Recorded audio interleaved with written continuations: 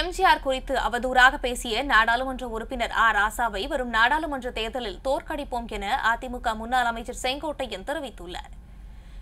கோபிச்செட்டிப்பாளையத்தில் பல்லாவரம் திமுக எம்எல்ஏவின் மருமகள் வீட்டில் பணிப்பெண் தாக்கப்பட்ட விவகாரத்திற்கு கண்டனம் தெரிவித்து அதிமுக சார்பில் கண்டன ஆர்ப்பாட்டம் நடைபெற்றது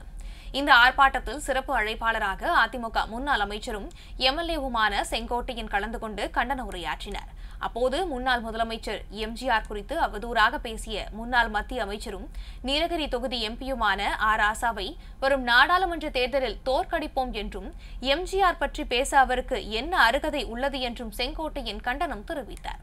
மேலும் ஆ ராசாவின் பெயரை மாற்றிக்கொண்டு ஊரை விட்டு ஓட வைப்போம் எனவும் செங்கோட்டையின் காட்டமாக குறிப்பிட்டார்